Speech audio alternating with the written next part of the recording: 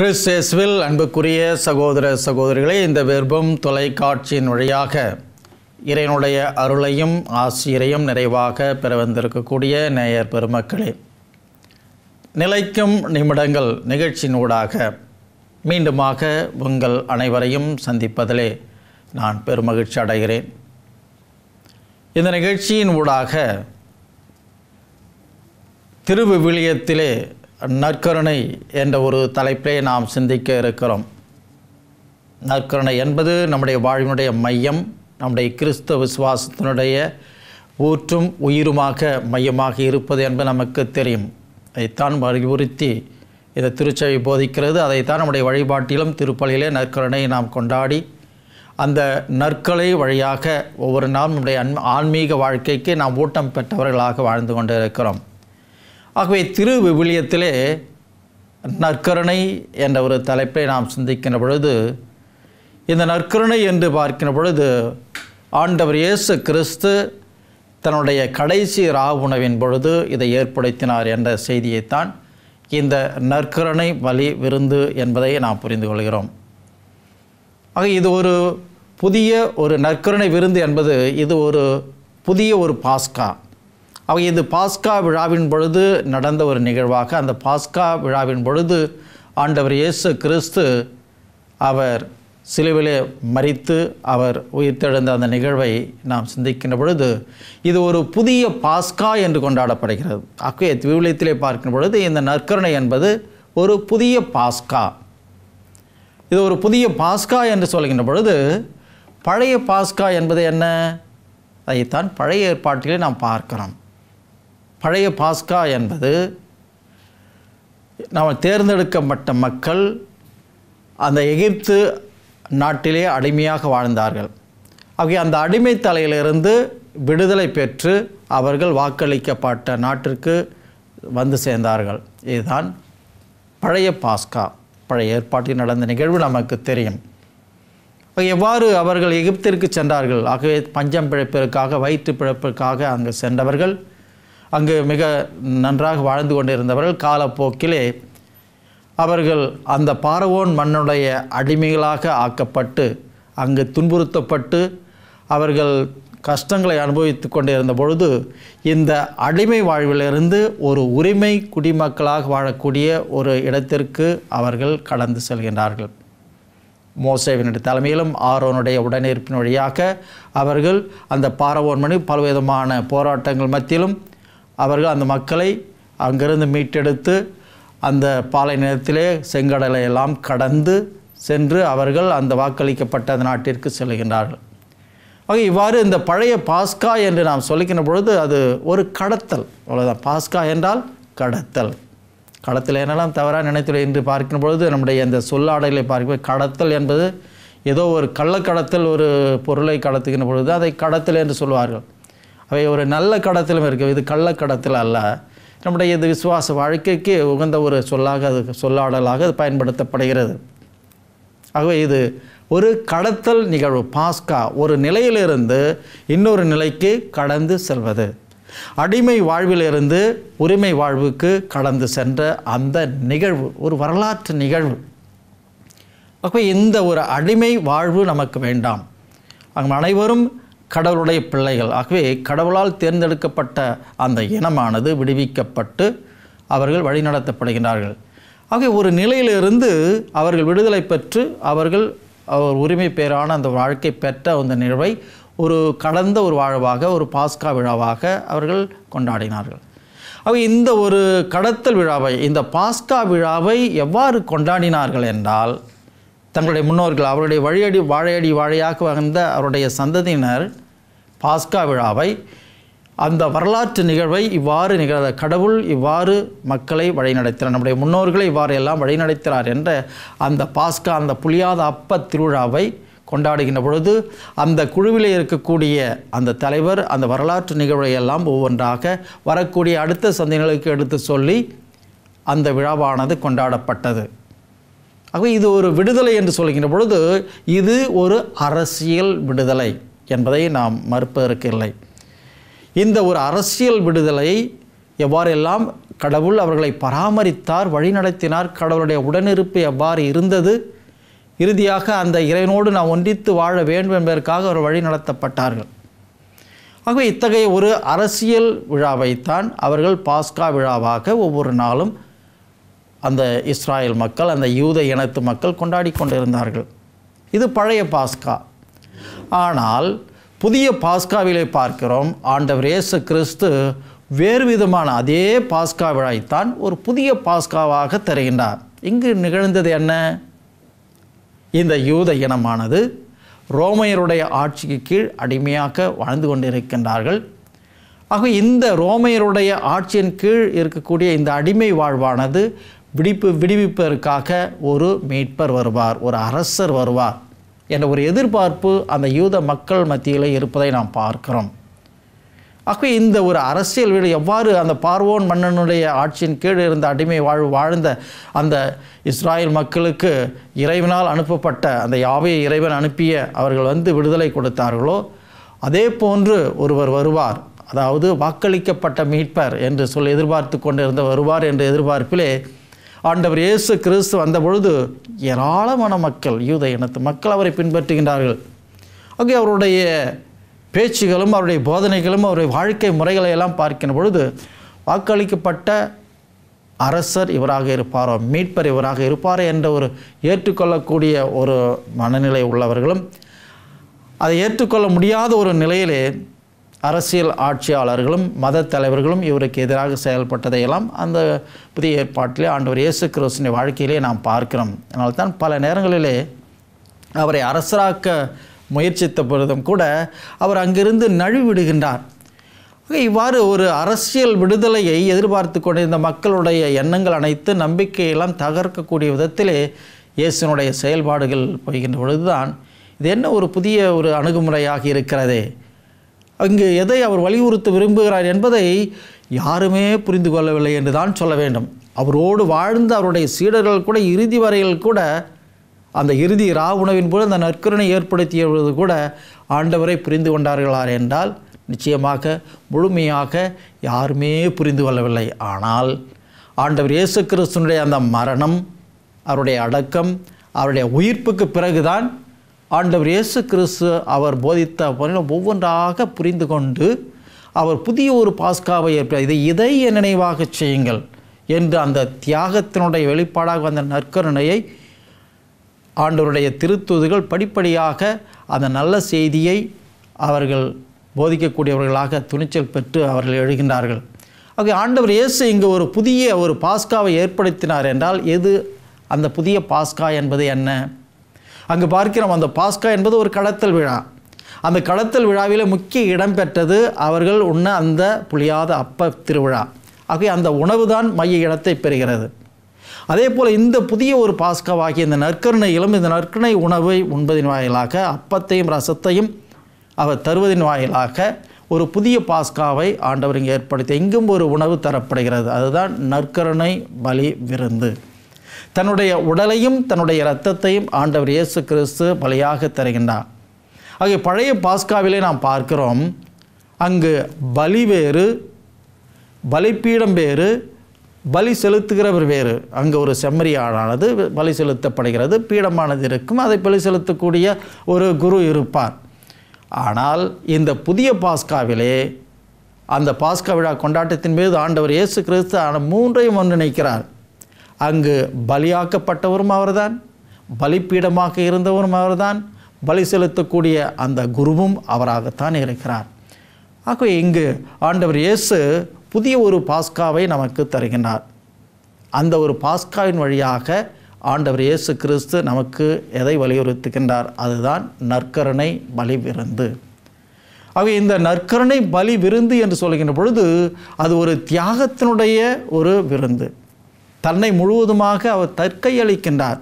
அவரை கொண்டார்கள் அரசியல் காரணங்களுக்காக கொண்டார் மக்கள் அனைவரும் ஒரு அரசியல் எதிர்பார்ப்போடு இருந்தார்கள். அரசியல் விடுதலை கிடைக்கும் என்று இருந்த அந்த மக்களுக்கு வேறு விதமான அந்த ரோமையருடைய ஆட்சி கீழே தொடர்ந்து தான் இருந்து கொண்டு இருக்கார்கள் ஆனால் இயேசு அவர்களுக்கு அறிவுறுத்தி சொன்னது புதிய ஒரு கட்டளையை தருகின்றான் நான் உங்களுக்கு ஒரு புதிய கட்டளையை தருகிறேன். அப்படி என்றால் அவர் வலியுறுத்தி சொல்ல வரும்போது ஒருவர் மற்றவரை அன்பு செய்து வாழுங்கள். இதுதான் அவர் தரக்கூடிய. அப்படி என்றால் அதற்கு முன்பாக யாருமே ஒருத்தர் ஒருத்தர் அன்பு செய்யாமல் வாழ்ந்தாங்களா? அப்படி என்ற ஒரு கேள்வி நம்முடைய உள்ளத்தில் எழலாம். ஆனால் பழைய ஏற்பாட்டில் சொல்லப்பட்ட அந்த போதனை என்னவென்றால் கண்ணுக்கு கண் பல்லுக்கு பல். ஆகவே ஒருவன் அடித்தான் என்றால் திருப்பி அடிக்க வேண்டும். அவர் ஒருவர் எந்த அளவுக்கு செய்கிறாங்கன்னா அது பதிலுக்கு பதில். அதுதான் ஒரு நியாயம். ஒருவன் ஒரு அடி அடித்தார் என்றால் திருப்பி அடிக்க வேண்டும். சின்ன பிள்ளைங்கள சில நேரத்தில் சண்டை போட்டுக்கிட்டு வருவாங்க. நம்மகிட்ட வருது நாட்டு அமைகளை பார்க்க சொல்லவே வருவாங்க. ஃபாதர் இவன் நீ அடிச்சிட்டான் அப்படின்னா. ஏய் ஏன்டா அடித்த அப்படின்னு கேட்டால் இந்த பையன் சொல்லுவான் அவன் நீ அடித்தான் நான் திருப்பி அடித்தேன் உடனே இவர் சொல்லுவார் தே நான் ஒரு அடி தான் அடித்தான் ஃபாதர் அவன் ரெண்டு அடி அடிச்சிட்டான் அப்போ அவர் சொல்லுவார் ஏடா ஒரு அடி தான் ஒன்றுக்கு ஒன்று சரியாக போச்சு இல்லை போங்கடா அப்படின்னு. இல்லை ஃபாதர் அவன் வந்து முதல்ல அடித்தா நான் எந்த தப்புமே பண்ணல. அவன் அடித்ததுக்கு நான் என்ன பண்ணான்? வட்டியும் முதலமாக ரெண்டு ரெண்டு அடியாக சேர்த்து கொடுத்தான் ஃபாதர் அப்படின்னு அவர் நியாயப்படுத்துவான். அப்போ இது என்றால் பதிலுக்கு பதில்.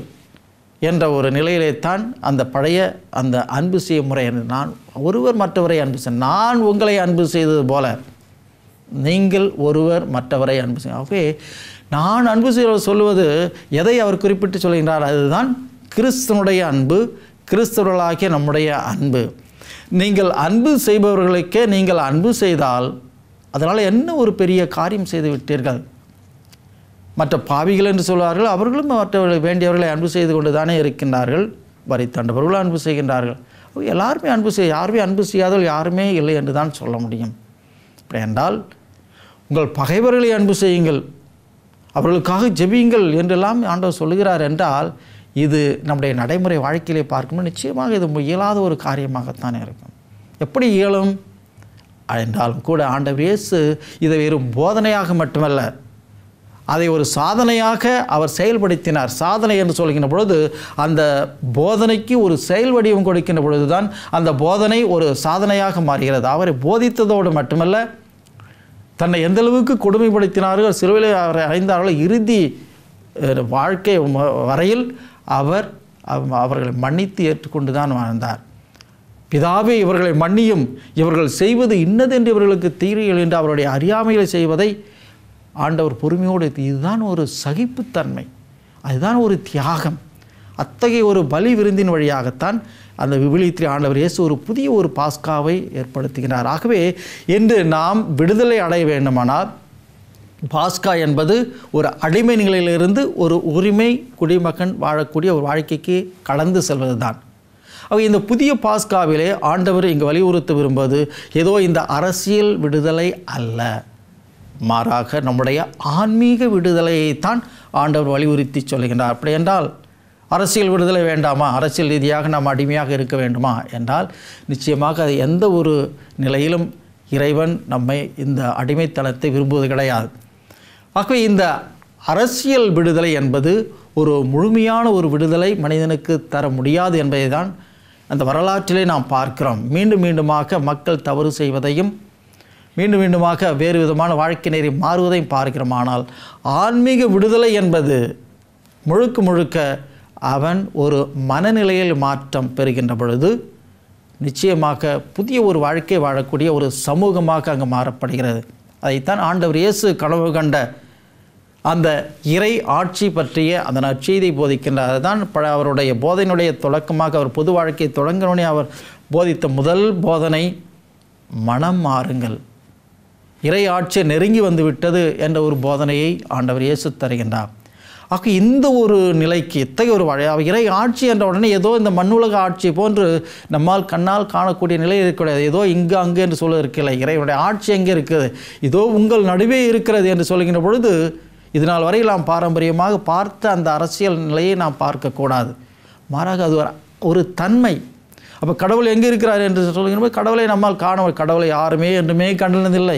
நாள் கூட அந்த இறை தன்மையை நம்மால் உணர முடியும் என்பதைத்தான் ஆண்டவர் இயேசு கிறிஸ்து தந்தை இறைவனோடு ஒன்றாக இருந்து அவர் ஐக்கியப்பட்டு அவர் பல நேரங்களில் தனிமையாக ஜெபித்ததை மலையிலே இருந்து அவர் பெற்ற அந்த தாபூர் அனுபவங்கள் நமக்கு எடுத்து சொல்கிறது. அந்த தந்தை இறைவனை நம்முடைய கண்ணுக்கு எட்டாத அல்லது நம்முடைய அனுபவத்துக்கு எட்டாத ஒரு நிலையை வைத்து பூசிக்கக்கூடிய ஒருவராக அல்லாமல் நெருங்கிய ஒரு தொடர்பை ஏற்படுறதுக்கு அப்பா தந்தா என்று அழைக்கக்கூடிய ஒரு நிலையில் ஒரு நெருங்கிய ஒரு தொடர்பை ஆண்டவர் இயேசு கிறிஸ்து ஏற்படுத்தி கொண்டார். ஆக இந்த ஒரு நிலைக்கு இறைவனோடு நாம் ஒன்றித்து வாழ வேண்டும். இந்த ஒரு ஒன்றிப்பிலே வாழ்கின்ற பொழுதுதான் இந்த சமூகத்திலே யாரும் யாரையும் அடிமைப்படுத்தாமலும் அடிமை வாழ்க்கை வாழாமலும் ஒரு சமத்துவ சகோதரத்துவ வாழ்விலே வாழ வேண்டும் ஒரு நிலைக்கு இறைவன் நம்மை அழைக்கிறார். அதைத்தான் ஆண்டவர் இயேசு கிறிஸ்து இறை ஆட்சியினுடைய தத்துவமாக தருகின்றார். ஆகவே தான் அவருடைய புது வாழ்க்கையிலே பார்க்கிறோம். அப்படியேப்பட்டவர்களுக்கு அவர் முக்கியத்துவம் தருகின்றார். மருத்துவர் நோய் அற்றவருக்கல்ல நோய் உற்றவருக்குத்தான் தேவை. நான் பணிவிடை பெறுவதற்காக அல்ல நான் பணிவிடை புரிவதற்காக வந்தேன் என்று அடிமையின் தன்மை பூண்டேன் என்று சொன்னார் அவர் இந்த மக்களுடைய நலனுக்காக. ஆகவே அவருடைய வாழ்வுடைய இலக்காக இல இலக்கு மக்கள் என்று பார்க்கின்ற பொழுது யாரெல்லாம் இந்த சமுதாயத்தால் ஒதுக்கப்பட்டார்களோ அவர்களெல்லாம் தலைகீழான ஒரு சிந்தனையை போதனையை ஆண்டவர் இயேசு தருகின்றார். அதுதான் ஒரு புதிய ஒரு பாஸ்கா. இவர்களும் வாழ்வு பெற வேண்டும். அவர் எதற்காக வந்தார்? வாழ்வு பெற வேண்டும். இந்த மனுக்குளம் வாழ்வு பெற வேண்டும் அந்த வாழ்வை முழுமையாக பெறும் பொருட்டு ஆண்டவர் இயேசு கிறிஸ்து இந்த உலகத்திற்கு வந்தார். அப்படி என்றால் பாவிகள் ஒதுக்கப்பட்டவர்கள் வரி தண்டுபவர்கள் பெண்கள் குழந்தைகள் இவர்களை தன்னுடைய இலக்கு மக்களாக என்று அவர்களுக்கு முக்கியத்துவம் கொடுக்கின்றார். அவை பார்க்கின்ற பொழுது இந்த பாஸ்கா என்று சொல்கின்ற பொழுது இந்த உணவு என்பது முக்கிய இடத்தை பெறக்கூடியதாக இருக்கிறது. அவருடைய வாழ்க்கையில பார்க்கிறோம் அப்படிப்பட்டவர்களோடு சேர்ந்து அவர் பல நேரங்களிலே உணவு அருந்தியதையும் இதன் வாயிலாக அவர் பலவிதமான விமர்சனத்துக்கு உள்ளான அந்த நிகழ்வுகளை எல்லாம் பார்க்கணும். அவர் பாவிகளோடு சென்று உணவு அருந்துகிறார். என்ன நாங்கள் பெரிய ஒரு மீட்பரை நினச்சோம் பெரிய புண்ணியவான் நினச்சோம் இந்த பாவிகளோடு தன்னை அப்படி என்றால் அவர் என்ன சொல்லுவாங்க? அது ஏன்னா இனத்தோடு தானே சேரும். அப்போ இவரும் பாவியாக இருப்பாரோ? அப்படி என்று கேட்கக்கூடிய ஆக அவர் பாவிகளோடு தன்னை ஐக்கியப்படுத்தி கொண்டார் என்றால் எவரும் தன்னை பாவி என்று காட்டுவதற்காக அல்ல அந்த பாவியை மீட்டெடுத்து ஒரு புண்ணியவனாக மாற்ற வேண்டும் என்ற ஒரு உயர லட்சியத்துக்காகத்தான் ஆண்டவர் இயேசு அவர்களோடு உணவருந்தினார். ஆகவே ஆண்டவர் இயேசு கிறிஸ்துனுடைய வாழ்க்கையிலே நாம் பார்க்கிறோம் இந்த உணவு என்பது மிக மிக முக்கியமான ஒன்றாக இருக்கிறது. ஆகவே இந்த உணவின் வழியாக மற்றவர்களை தன்னோடு ஈர்த்ததையும் அவர்களோடு சமமாக உணவருந்தி தன்னோடு அவர்கள் பங்கெடுக்க அழைத்தையும் பார்ப்பார் அந்த கடை இறுதியாக தன்னுடைய இரா உணவின் பொழுது அந்த உணவை மையப்படுத்தித்தான் தன்னுடைய உடலையும் இரத்தத்தையும் உணவாகவும் பானமாகவும் ஆன்மீக ஈடேற்றத்திற்காக ஆண்டவர் இயேசு தந்திருக்கின்றார். ஆகவே இந்த விவிலியத்திலே இந்த நற்கருணையை ஆண்டவர் இயேசு நமக்கு தந்திருக்கக்கூடிய இந்த நற்கருணை பலிவிருந்திலே பங்கெடுக்கக்கூடிய அந்த ஒரு ஆற்றலை நாம் ஒரு நாளும் நாம் பெற்றுக்கொண்டு இருக்கிறோம். இப்படிப்பட்ட ஒரு நிலையிலே நாம் இந்த நற்கருணை எவ்வாறு நாம் புரிந்து கொள்கிறோம்? ஆக இறைவன் என்பவர் எங்கோ இருக்கக்கூடியவராக அது நற்கருணை வைத்துவிட்டு அவருக்கும் எனக்கும் ஒரு தூரத்தில் இருக்கக்கூடியவராக நாம் பார்க்கக்கூடாது. அவை கடவுள் என்பவர் மிக அழகாக நம்மளை பிரித்து பார்க்கலாம். அவை கடவுள் உள் என்று கட உள். அவை கடவுள் என்பவர் கடந்து இருக்கக்கூடியவர். அதே நேரத்தில் உள்ளே இருக்கிறார். God is transcendent at the same time God is immanent கடந்து இருக்கக்கூடிய கடவுள் நம் உள்ளும் இருக்கிறார். இதைத்தான் ஒருவர் சொல்வார். அந்த இறை ஆற்றல் ஒரு ஆற்றலாக சக்தியாக இருக்கிறார். அந்த ஒரு இறை ஆற்றல் என்று சொல்கின்ற பொழுது அது எங்கும் கடவுள் எங்கே இருக்கிறார்னு கேட்டால் நற்கருணையில் மட்டுமே இருக்கிறார்? எல்லா இடத்திலும் இருக்கிறார் என்று ஆகவே அந்த நற்கருணை பிரசனம் என்பது அது ஒரு மறைப்பொருள் என்று நாம் நம்பிக்கொண்டு இருக்கிறோம். எல்லா இடத்திலும் கடவுளை பிரசன்னம் இருந்தாலும் கூட ஆண்டவருடைய முழு உடலும் இரத்தமாகும் நற்கருணை இருக்கிறார் என்பது நம்முடைய விசுவாசம். ஆகவே அந்த எல்லையற்ற அந்த இறை ஆற்றலை நாம் எவ்வாறு புரிந்து கொண்டு இருக்கிறோம்? எல்லை அதான் சொல்லுவார். ஒரு இறை அடியார் எல்லையற்ற இறை ஆற்றல் என் உள்ளும் புறமும் இவ்வுலகமும் வானுலகம் எங்கும் நிறைந்துள்ள. எல்லையற்ற இறை ஆற்றல் இவ்வுலகமும் வானுலகம் எங்கும் நிறைந்துள்ள. நல்ல உண்மையை நான் அறிந்த நாள் முதலாய் நல்ல உண்மையை நான் அறிந்த நாள் முதலாய் நலமளிக்கும் சொற்களையே பேசும் புறம் பெற்றேன். நலமளிக்கும் சொற்களையே பேசும் புறம் பெற்றேன். இல்லை என்ற சொல்லுக்கே இடமின்றி வாழ்வில் எல்லா வளங்களிலும் ஏற்றமே காண்கிறேன். புள்ளை மண் பொன் கல் நீர் எதை நினைந்த பொழுதும் புல்லை மண் பொன் கல் நீர் எதை நினைந்த பொழுதும் பொது நடனம் இறை அறிவாய் பொருத்தி ஆடல் கண்டேன். ஆக இவ்வாறு எல்லா பொருட்களிலும் இறைவனுடைய பிரசன்னம் இருந்து செயலாற்றி கொண்டு இருக்கின்ற பொழுது அந்த நற்கருணையிலே எந்தளவுக்கு ஒரு சிறப்பான ஒரு பிரசனம். ஆண்டவரே அதில் இருக்கின்றார். பார்க்கணும். அது எப்படி எல்லாருலேயும் இருக்கு. அப்போ ஏன் மற்ற இடத்துலையும் இருக்குது நம்ம கடவுள் வழிபடக்கூடாது என்ற கேள்வி எழலாம். சின்ன உதாரணத்துமாக நம்ம வைக்கலாம் இருந்தாலும் ஓரளவு நம்மால் புரிந்து கொள்ள முடியும். இப்போ நம்ம பால் கறக்கிறோம் என்றால் ஒரு பசு மாட்டிலே பால் கறக்கிறோம் என்றால் அந்த பால் எங்கிருந்து வருகிறது? அந்த மாட்டினுடைய ரத்தத்தில் எல்லாம் சுரங்கி அதற்கென்று ஒரு இடம் வருகிறது. ஆகவே அந்த மாட்டு காம்பின் வழியாகத்தான் அந்த பாலை நம்மால் எடுக்க முடிகிறது. அதே போன்றுதான் அந்த இலையற்ற இறை ஆற்றலாக இருக்கக்கூடிய அந்த இறைவனுடைய பிரசன்னம் ஒட்டுமொத்த ஆற்றில் அந்த நற்கரணை வடிகளே வந்து கொண்டிருக்கிறது. அந்த இறை பிரசன்னத்தை இந்த நற்கருணை வழியாக இந்த விவிலியத்தின் வழியாக ஆண்டவர் இயேசு கிறிஸ்து நமக்கு நற்கருணை ஏற்படுத்தின் வழியாக நமக்கு தந்து கொண்டிருக்கின்றார். ஆகவே இந்த ஒரு நற்கருணையை நாம் பெறுகின்ற பொழுது எத்தகைய ஒரு ஆற்றலை நாம் பெறுகிறோம்? ஒரு சமூக கொண்டாட்டமாக நாம் உணவை அருந்துகின்ற பொழுது ஒரு விருந்து வைக்கிறோம். அந்த விருந்தின் வழியாக எல்லாரும் நாங்கள் ஒன்றா இருக்கிறோன்றதை ஒரு நாம் எண்பிக்கிறோம். அந்த விருந்தில் பங்கெடுக்கலைன்னா நான் இந்த விருந்து வைக்கிறோட நான் ஒன்றாக இல்லை இணைந்து இல்லை என்பதை நாம் காட்டுகிறோம். அவை இந்த நற்கருணை விருந்தில் நாம் பங்கெடுப்பின் வழியாக நாம் ஆண்டவரோடு இறைவனோடு ஒன்றித்திருக்கிறோம் என்பதை நாம் வெளிப்படுத்துகிறோம். இவ்வாறு நாம் ஒன்றித்திருக்கின்ற பொழுது அந்த இறைவனுடைய ஒன்றிப்பு அந்த இறைவனுடைய சிந்தனைகளையும் இறைவனுடைய செயல்பாடுகளையும் நம்முடைய வாழ்க்கையிலே நாம் செயல்படுத்தக்கூடியவர்களாக மாற வேண்டும் என்ற ஒரு உயரிய ஒரு நோக்கத்திற்காகத்தான். ஆகவே அன்புக்குரிய சகோதர சகோதரிகளே இந்த திரு விவிலியத்தின் வழியாக ஆண்டவர் இயேசு கிறிஸ்து தன்னுடைய வாழ்வு போதனை அனைத்தையும் ஒரு இறுக்கி சுருக்கி இந்த நற்கரணை வழிகளை தன்னை முழுவதுமாக கொடுத்திருக்கின்றார். ஆகவே இந்த நற்கருணை வழியின் வழியாக நாம் பங்கெடுக்கின்ற பொழுது அந்த ஆண்டவரை எவ்வாறு நாம் உள்வாங்குகிறோம்? அந்த ஆண்டவரை நாம் உள்வாங்குகின்ற பொழுது நாம் எவ்வாறு ஆண்டவர் இயேசு கிறிஸ்தனுடைய சிந்தனைகளையும் செயல்பாடுகளையும் நாம் கொண்டு இருக்கிறோம் என்பவர்களாக நாம் சிந்திப்போம். ஆகவே அனைவரே இந்த நல்ல நேரத்திலே அனைவரும் கண்களை மூடி இந்த நற்கரணி ஆண்டவர் வழியாக எல்லா ஆற்றலையும் சக்தியும் நமக்கு நிறைவாக தர வேண்டுமாய் நாம் ஜெபிப்போம். மன்றாடுவோமாக. என்றும் வாழும் எல்லாம் அல்ல தந்தையை இறைவா. உடைய திருமகனை நற்கருணையின் வழியாக எங்கள் ஒவ்வொருவருக்கும் நற்கருணை ஊற்றாகவும் ஆணிவேராகவும் தந்து எங்கள் விசுவாச வாழ்விலே எங்கள் நம்பிக்கையை ஒவ்வொரு நாளும் பலப்படுத்தி வழிநடத்தி கொண்டிருக்கின்றேன். இந்த அரிய பெரிய கொடைகளுக்காக நாங்கள் நன்றி கூறுவதோடு தொடர்ந்து உடைய பிரசன்னம் எங்களோடு இருக்கவும் நடமாடும் ஆலயங்களாக நற்கருணை பிழையினுடைய ஆலயமாக நாங்கள் ஒவ்வொருவரும் இருக்கவும் எங்களுடைய சிந்தனைகளும் செயல்பாடுகளும் உமக்கு உகந்ததாகவும். உடைய திருமகன் எவ்வாறு உமக்கு முழுமையாக கீழ்ப்படைந்து அனைத்து துன்பங்களையும் எளிதாக ஏற்றுக்கொண்டு உம்முடைய சித்தத்தை தன்னுடைய வாழ்க்கையிலே செயல்படுத்தினாரோ?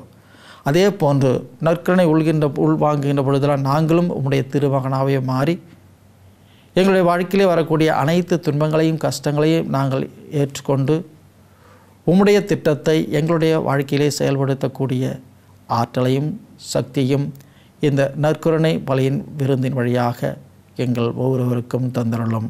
ஆமீன். இந்த நல்ல நாளிலே ஆண்டவர் இயேசு கிறிஸ்தனுடைய அன்பும் அமைதியும் உங்கள் ஒவ்வொருடைய உள்ளங்களிலும் இல்லங்களிலும் என்றும் குடிகொண்டு வாழ வேண்டும் என்று வாழ்க வளமுடன் என வாழ்த்துகிறேன்.